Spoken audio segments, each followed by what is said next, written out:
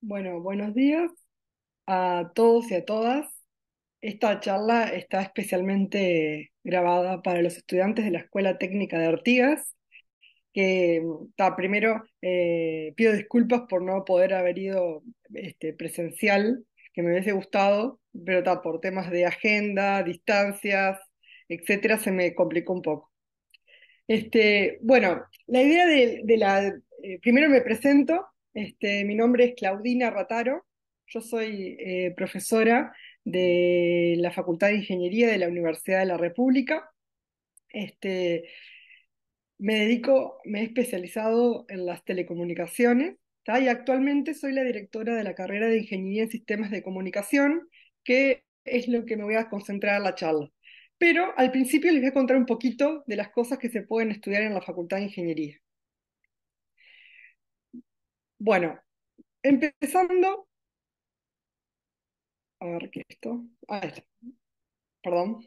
Acá tengo, les muestro, dado que ustedes están lejos de Montevideo, en esta foto de acá, la de acá abajo, se ve la ubicación de la facultad, que está, que a mi juicio, yo soy del interior también, y, y, y la verdad me, me encanta dónde está ubicada la facultad, este, que es cerca de la, de la playa, de la Rambla de Montevideo. Acá para este lado está el Teatro de Verano, donde en general se, hace el concurso de carnaval. Esta es la playa Ramírez, ¿tá? es una playa eh, muy concurrida en el verano. Y de la facultad está muy cerquita de ahí, está en un, en un entorno, la verdad que pri- privilegiado. Y acá, en esta parte de acá, está el Parque Rodó este, de los Juegos y eso. Este, bueno, este es el edificio principal de la facultad, este, que tiene siete pisos, que acá está, hay otra foto, este, como más mirada desde la entrada, se entra por, por, no se entra por la Rambla, sino se entra por la calle Herrera y Racing. Este, y este es el aulario, que es otro edificio que queda pegadito, estaría acá como a la derecha de la facultad, que es un edificio que compartimos con Facultad de Economía y con Facultad de Arquitectura. Este edificio de acá es básicamente solo de salones de clase, y en, en cambio en el edificio principal, este, este mamotreto acá tiene la biblioteca, el salón de actos, ese estilo de cosas, y acá en todo el edificio principal y estas partes de casa hay laboratorios, hay más salones de clase, hay oficinas de los docentes, etcétera, etcétera. Bueno, ¿qué se puede estudiar en Facultad de Ingeniería? Bueno, en principio, bueno, eh, en todas las eh, diapositivas estas les voy mostrando partes de la facultad. Esto es lo que se llama el piso verde. Antes de pasar a, las carreras que se puede estudiar, eh, me parece importante remarcar que una de las cosas que tiene la facultad es este, que está muy este, ambientada para que la gente pueda ir y quedarse un buen rato estudiando, si no tiene lugar en la casa, por ejemplo, yo que sé, porque vive en una residencia estudiantil o en una pensión, la facultad, este, por ejemplo, este espacio del piso verde, tiene mesas, tiene pizarrones, tiene enchufes para ir a la biblioteca, por ejemplo, de la facultad, tiene acceso a las 24 horas todos los días del año salvo los, el primero de enero, esos días, pero se puede ir de noche a estudiar, este, bueno, etcétera. Las salas de computadora lo mismo. Está dado bastante para que la gente pueda usar las instalaciones de la facultad. En principio tal vez no tiene computadora en la casa o, o comparte con su familia, etcétera. Bueno, ¿y qué puedo estudiar en Facultad de Ingeniería? Bueno, acá, esto acá que les presento, estos nombres acá, son todas las ingenierías que hay en la facultad. ¿Está? De agrimensura, ingeniería civil, ingeniería en computación, ingeniería eléctrica, ingeniería industrial mecánica, naval, producción, ingeniería química, ingeniería de alimentos, ingeniería forestal. Y bueno, y en rojito marqué eh, la carrera que es la que me motiva esta charla, que es ingeniería en sistemas de comunicación. ¿Tá? En particular, comentar que yo soy, por ejemplo, egresada de la carrera de ingeniería eléctrica, eh, dentro de la carrera de ingeniería eléctrica, uno de los perfiles es, es, el de telecomunicaciones, que es el que hice yo. Este, esta carrera, como les voy a contar después, es más nuevita. Cuando yo entré a la facultad no existía, yo seguramente la hubiese hecho. Bueno, estas carreras, todas estas ingenierías son carreras de cinco años. ¿tá? Cinco años nominales, ¿tá? cuando uno está dedicado casi exclusivamente a la carrera. Este, lleva cinco años. Y bueno, acá las carreras se miden en créditos, que, que las carreras de cinco años llevan 450 créditos, que esto significa cada crédito significa eh, una idea de 15 horas de dedicación en, un semestre. los semestres en la facultad eh, van desde marzo a julio y después desde agosto a diciembre. Cada semestre tiene ciertos cursos, ciertas asignaturas, y bueno, dependiendo de la cantidad de créditos que tiene la asignatura, es la cantidad de, horas que uno le tiene que dedicar a esa asignatura. Y a lo largo de la carrera uno tiene que juntar 450 créditos, de cierta forma. Bueno, eso entonces, para comentar primero, entonces, ¿qué se estudia en Facultad de Ingeniería? Tenemos todas estas carreras que son de ingeniería, que estas son de 5 años. Esta que está acá, que tiene un asterisquito, Ingeniería Forestal, se dicta o se termina, mejor dicho, en Tacuarembó. Se puede este, cursar totalmente en Tacuarembó, la sede de la Universidad de la República de Tacuarembó, o se puede comenzar en Montevideo y terminar en Tacuarembó. Bueno, después tenemos otras carreras que son las licenciaturas, que también se pueden cursar en Facultad de Ingeniería, que son estas carreras de acá, son de cuatro años. ¿tá? Estas tenemos cuatro opciones. ¿tá? Está la licenciatura en Ciencias de la Atmósfera, que esta, esta carrera es en conjunto con Facultad de Ciencias, acá en Montevideo. Está la licenciatura en Recursos Hídricos y Riego, que esta es una carrera que también tiene un asterisquito porque la sede principal de esta carrera está en Salto. Está la licenciatura en Computación y está la licenciatura en Ingeniería Biológica. Esta le debería haber puesto otro asterisquito porque esta también eh, la sede principal de esta está en Paysandú. Esto también es, importante remarcarles porque ustedes que son de Artigas tienen eh, más cercana las, estas, este tipo de carrera y la licenciatura, licenciatura en computación, perdón, también eh, este, estoy segura de que este año o el año que viene se empezaba a dictar en Salto y Paysandú o en Salto. Pero este, estas tres carreras de acá abajo tienen se pueden dictar completamente en Salto y o Paysandú. Eso para que lo tengan ahí presente. Las otras, las, de acá, eh, todas, menos forestal, tienen que en algún momento venir a Montevideo.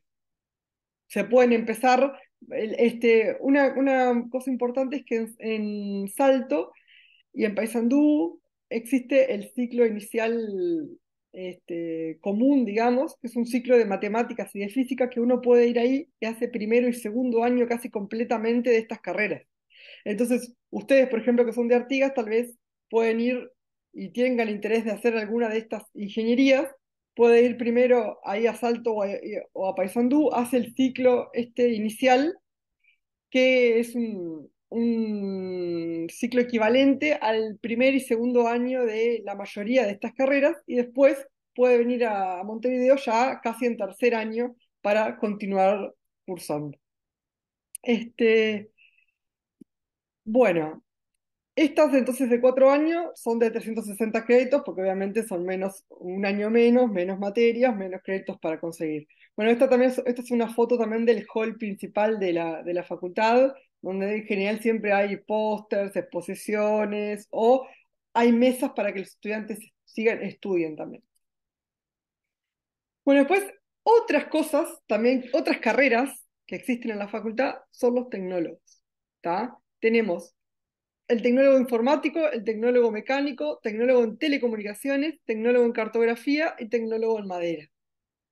Y estas carreras algunas son de dos años, otras de dos años y medio y otras de tres años, pero están en el entorno ese entre los dos y tres años. Esto también está bueno que lo tengan presente porque a veces uno necesita hacer una carrera más corta para una rápida inserción laboral y después eh, eventualmente continuar con una carrera más larga, que casi todos estos se le reconocen créditos bastantes en las carreras de ingeniería, por ejemplo, que les mencionaba anteriormente. Acá hay una foto, este es el túnel del viento, que es, un, es uno un laboratorio donde se prueban cosas de mecánica, por ejemplo, de cómo las estructuras soportarían ciertos vientos, etc. bueno, esto es el laboratorio de máquinas eléctricas del Instituto de Ingeniería Eléctrica, donde hay motores, etc., este, donde se hacen ensayos, es un laboratorio. Y bueno, el tecnólogo informático, para comentar, tiene varias sedes. Eh, eso pueden después este, consultarlo en la página de la facultad, pero se dicta en el interior y se dicta en Montevideo. El tecnólogo mecánico, estos dos primeros son en, conjunto con UTU, El tecnólogo mecánico este, se dicta en Montevideo, en conjunto con UTU. Después el tecnólogo en telecomunicaciones, la sede principal está en Rocha, pero se puede empezar en Montevideo y después tenemos este, el tecnólogo en cartografía, el tecnólogo madera. El tecnólogo madera es como muy relacionado a la ingeniería forestal, que este es de Tacuarembó, básicamente. Y el tecnólogo en cartografía sí está en Montevideo, que es muy relacionado a la carrera de agrimensura. ¿Ah? Pero este, cada uno de estos tecnólogos después tienen reconocimiento de créditos para poder continuar estudiando si quisieran seguir estudiando. Hay gente que hace la carrera de dos, tres años y ya tiene un título, ya está trabajando, ya no le interesa continuar estudiando. Pero entonces, esto es para que estas, estas, estas pantallazos que les dije es porque para que les quede claro que en la Facultad de Ingeniería no solo se estudian ingenierías, sino que también se estudian licenciaturas, son carreras de cuatro años, y se estudian los tecnólogos, que son carreras de tres años en máximo. ¿Está? Este, estas, por ejemplo, para hacer como unas diferencias, bueno, en los tecnólogos se va rápidamente a la parte más tecnológica, Se tiene poca carga de, o mucha menos carga de matemática y de física que en las ingenierías, Tendríamos como los dos extremos, o las ingenierías, eh, uno se concentra en los primeros dos años en mucha matemática y en mucha física, y en eh, los tecnólogos uno tiene matemática, tiene física, eso lo va a tener, pero en menor cantidad porque va directo, va rápidamente hacia cursos más de taller, más tecnológicos, más al, como quien dice, a los fierros o al software, dependiendo el, tecnólogo. Bueno, y acá, para terminar esta presentación, la parte más general de la presentación, este, dejo algunos este, links importantes. El primero es la web de la facultad, www.fing.edu.uy, F Ingeniería, Facultad de Ingeniería. Está acá. Van a tener la información de todas las carreras que les conté, porque si quieren saber bien de cada una de esas, este, pueden, eh, tienen en general un contacto para hacer más preguntas. Tienen las condiciones de ingreso, ingreso, de qué bachillerato se aceptan para entrar a cada carrera, eso puede variar casi en, su mayoría las, ingenierías tienen como las mismas condiciones de ingreso, pero algunas tienen algunas particularidades. Bueno, este sitio, eleva.fin.edu.uy, es como un repositorio que está el material de todos los cursos de la facultad. Ahí pueden, pueden chusmear y mirar, bueno, a ver qué curso, qué materiales hay. Y esto está muy recomendado, por ejemplo, ya desde antes de la pandemia en la facultad se tenía eh, un proyecto que es este proyecto OpenFing, que eh, estudiantes, es un proyecto que lo hacen los propios estudiantes de la facultad, van y graban eh, las clases, y después editan los videos y los suben a esta plataforma. Entonces acá básicamente están todos los, o casi todos los cursos de la facultad grabados, desde, desde, casi todas las carreras, se diría. Entonces, mucho, mucha de la formación de la facultad se puede hacer a distancia. Obviamente, eh, este, porque cada uno tiene disponibilidad eh, OpenFin, que están todos los videos de las clases, obviamente que son de año, el año anterior o dos años anteriores, no es la del año que está ocurriendo en este momento, que puede tener cambios sutiles. Y también tiene el EVA, que es donde están todos los materiales, los repartidos, etc. En principio, las matemáticas, las físicas, eso se puede hacer mm, casi todo a distancia, me, podría aventurar en decir eso. Obviamente las evaluaciones, lo que son los parciales, los exámenes, son presenciales. O sea que yo imaginándome en la situación de ustedes que viven bastante lejos de Montevideo y tal vez es costoso venirse a vivir a Montevideo, eventualmente pueden hacer cosas a distancia es, obviamente requiere cierta disciplina hacer la carrera a distancia porque uno no está cursando con los compañeros, etc. Pero desde la pandemia se, como que se naturalizó bastante la, opción de hacerlo más a, distancia. Tener en cuenta que obviamente las evaluaciones hay que venir a Montevideo, que en general lo que tiene en la facultad es que las concentra, los parciales están concentrados en una o dos semanas eh, a la mitad y al final de cada semestre. Entonces a veces, bueno, dice, bueno, tal vez voy y voy estas dos semanas puntuales a Montevideo y tengo los tres parciales que tengo que dar, etc. Este, y, obviamente sí hay, hay cursos que tienen instancias presenciales, los que son cursos de laboratorio. Este, depende de la carrera, va van a tener, por ejemplo, ingeniería química, ingeniería alimentos, ingeniería mecánica, hay cursos que, o, que tienen salidas de campo o que tienen instancias presenciales, pero este, eso depende mucho de cada carrera y depende mucho en qué momento de la carrera se dan estas instancias más presenciales. Pero este, varias de las cosas, lo que, eh, el mensaje que quiero dejar es que eh, varias de, las, de los cursos de la facultad se pueden cursar a priori totalmente a distancia viniendo presencialmente a las instancias de evaluación. Este, bueno, y después estos últimos links que están acá son cosas importantes a tener en cuenta, más pensando en estudiantes del interior. Este, las becas del Fondo de Solidaridad, Estas becas son becas económicas, que este, uno postula, ahí evalúan eh, la situación económica de familiar, del estudiante, etcétera, la escolaridad del liceo, de la UTU, de donde de donde terminó la secundaria, etc. Y después se, le pide como cierto, cierto avance a la carrera para ir renovándole la beca monetaria. Pero esto puede llegar a ser una buena ayuda. Entren ahí, que acá están los periodos de postulación, etc.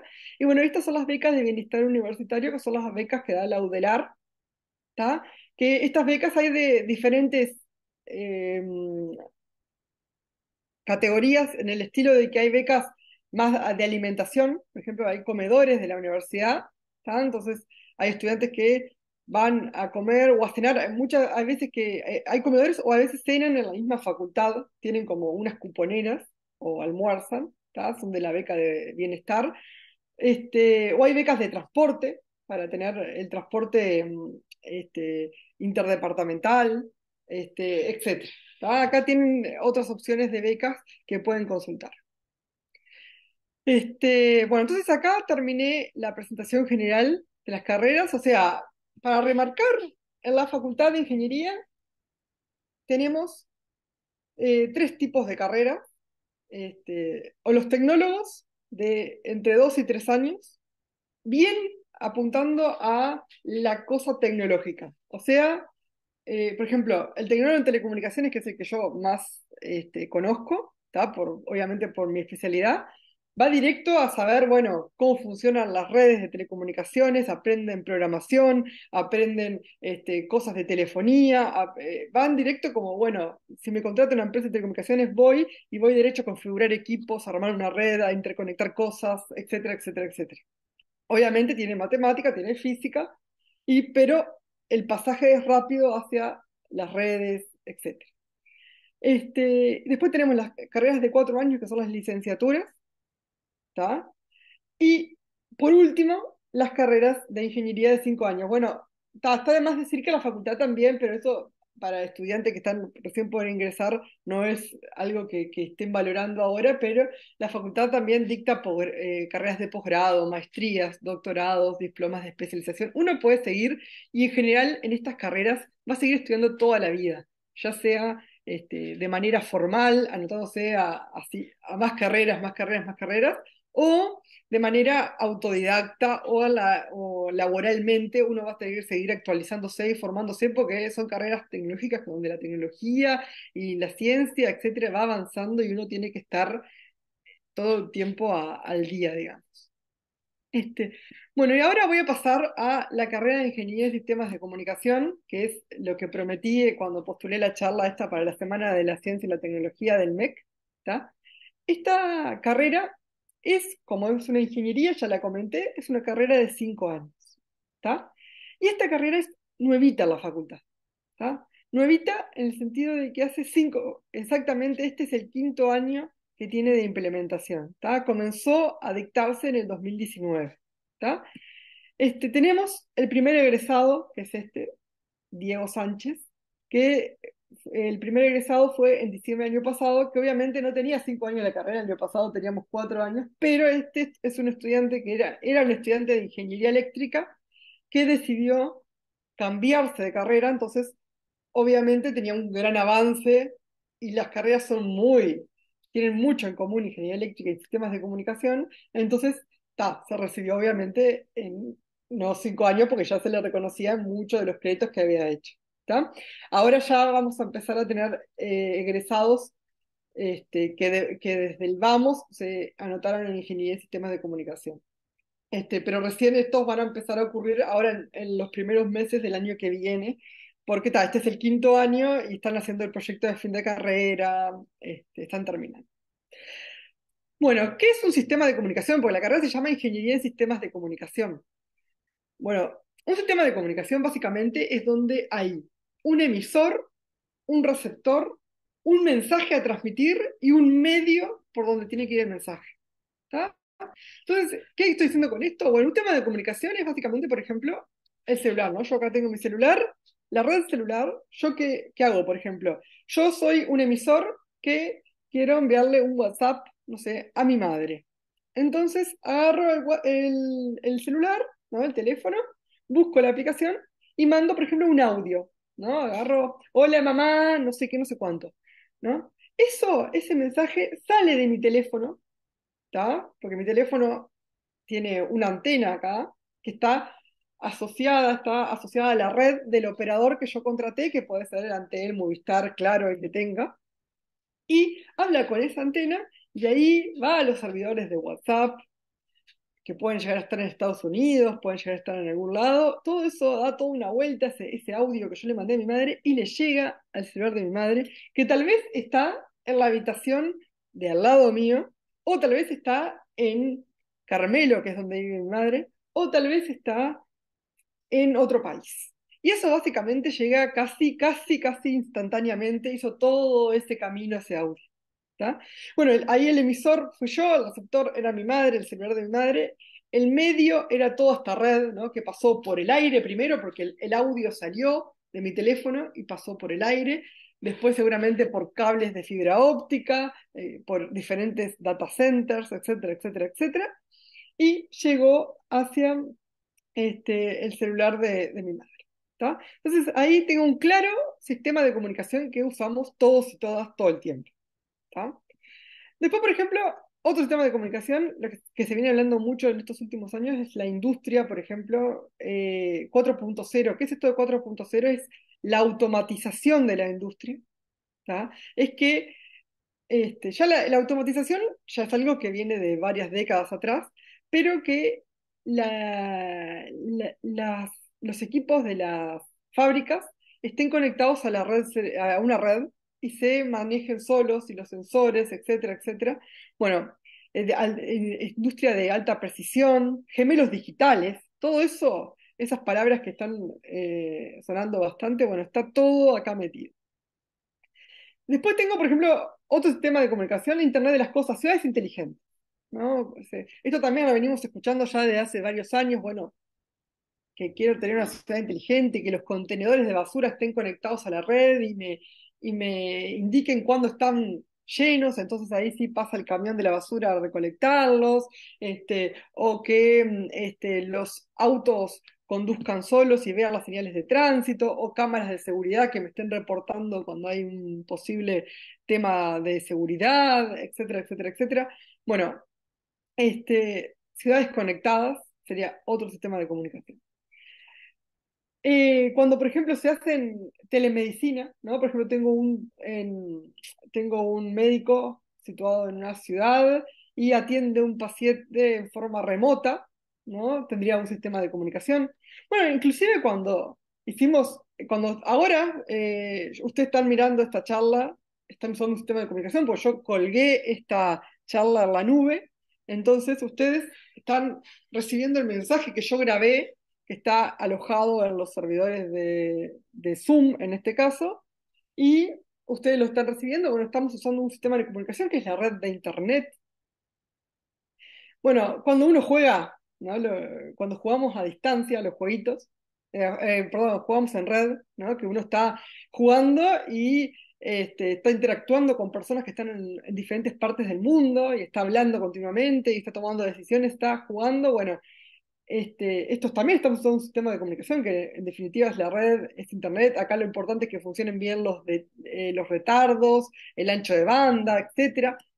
Ni que hablar, bueno, los drones están, eh, por ejemplo, una manada de drones que, se tiene que comunicar entre sí para cumplir cierta misión. Acá tenemos comunicaciones también y otras disciplinas, ¿no?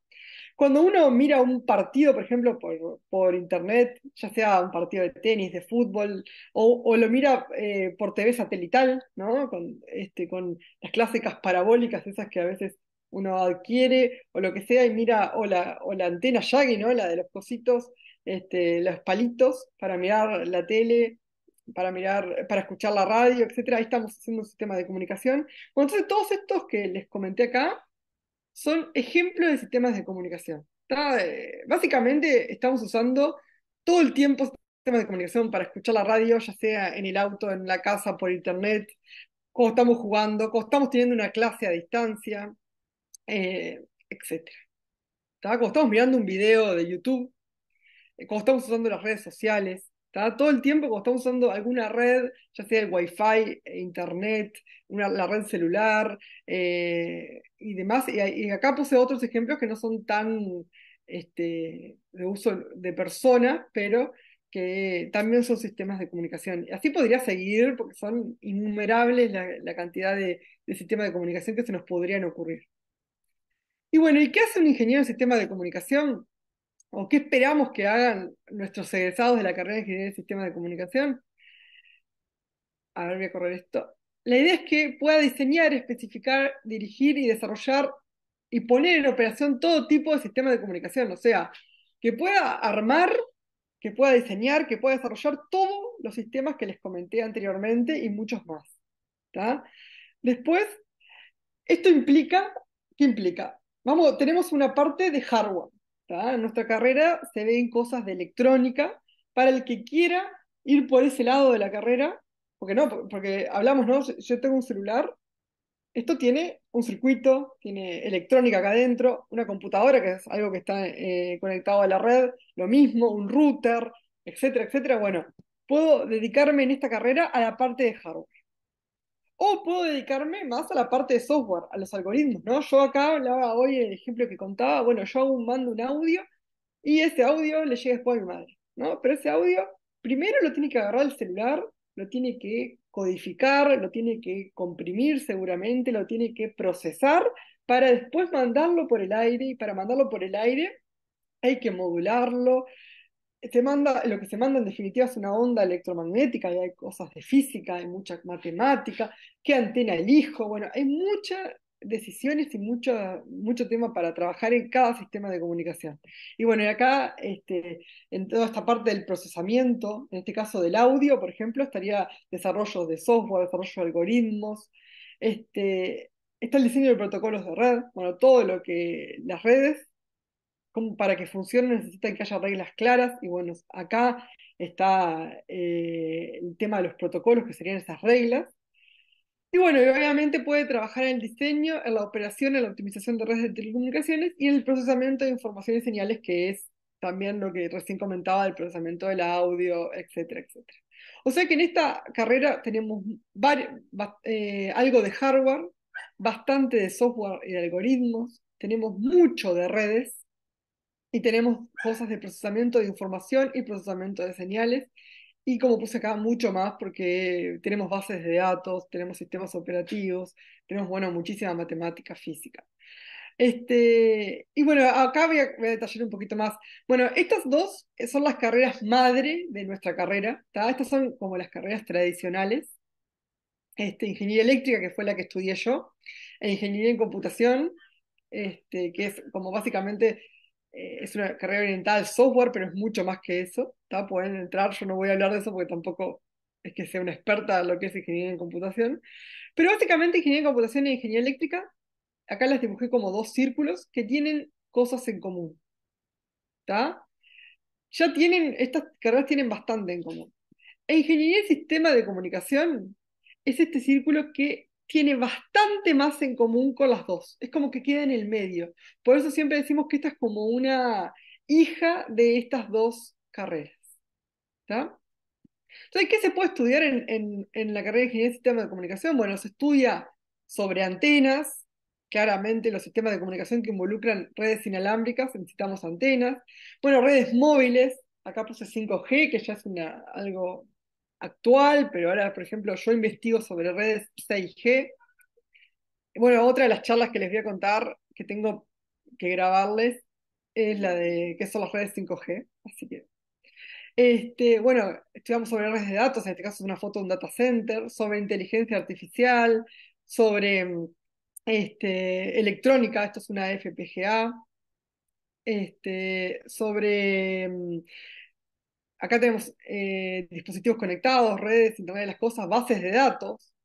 Tenemos más redes, tenemos este, software, robótica, aprendizaje automático, big data.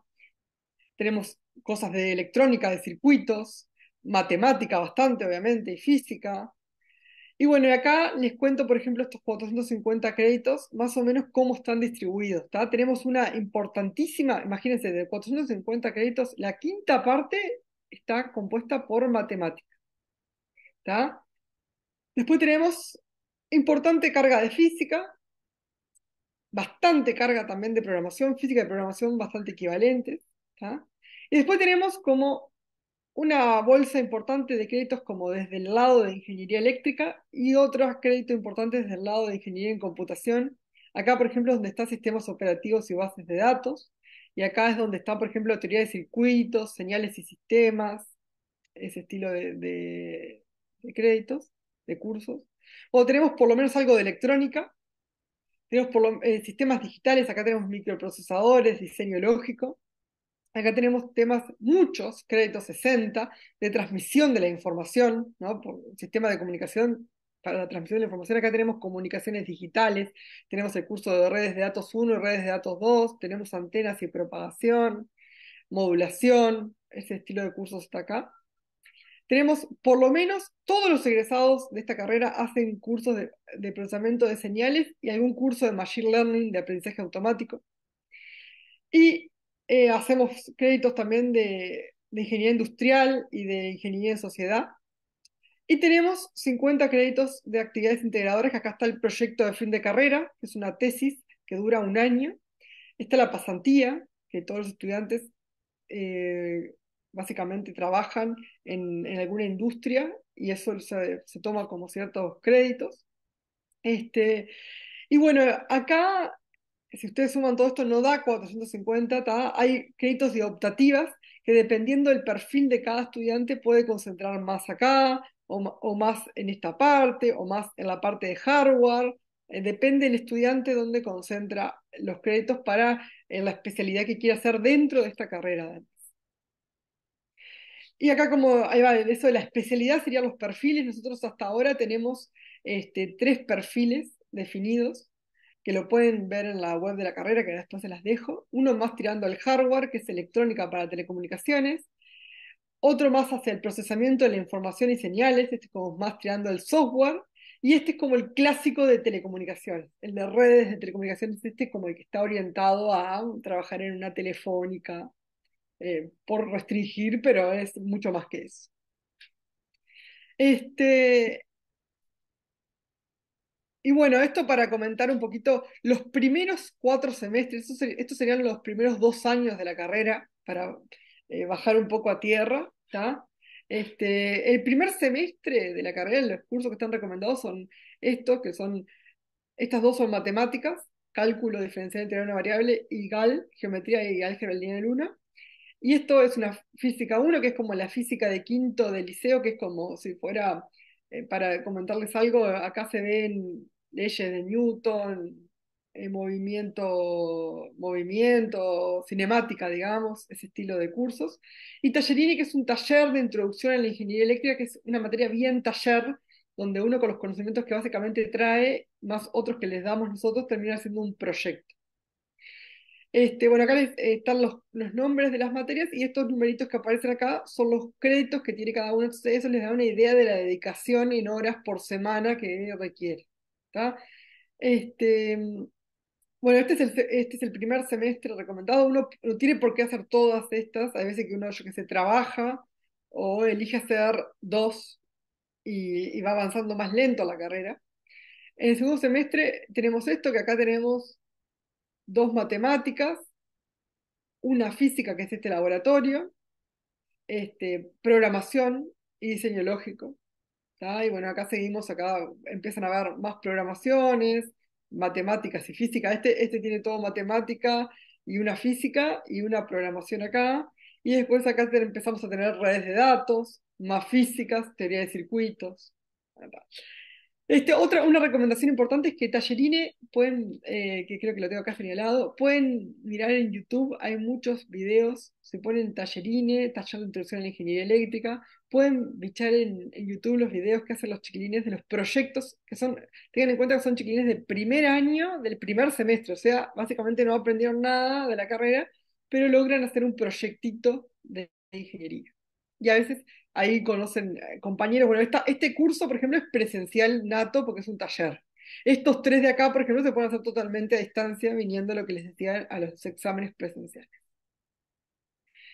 Este, bueno, el EVA de la carrera, está esto pueden entrar a este, tanto con este link o acá les dejo el QR que tal vez les quede mejor para escanear desde el celular este, cuando mirando esto, bueno, este es el sitio EVA de la carrera, EVA porque es un sitio donde está toda la información acá. Ahí hay otros videos sobre la carrera, este, bueno, tienen información de, diversa. Yo trato de mantenerlo bastante actualizado, ¿está?